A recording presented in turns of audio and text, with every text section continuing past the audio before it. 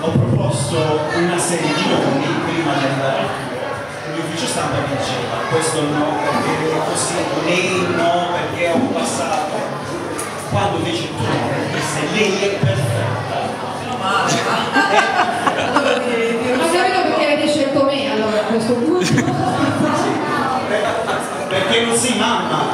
Quindi via figlio.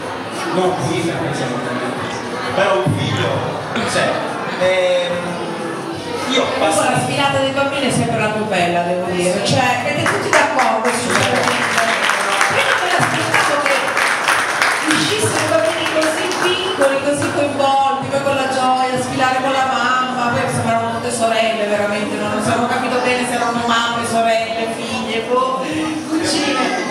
Però le mamme giovani anche, infatti non si capiva, però veramente complimenti perché è stata una sfilata fantastica, devo dire, mia messo